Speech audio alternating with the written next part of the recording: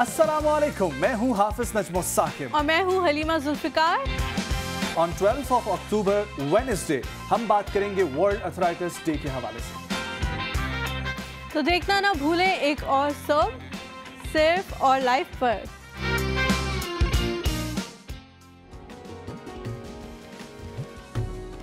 देखिए एक और सुब लाइव पीर से जुमा सुबह नौ बजे सिर्फ़ और लाइव एच पर।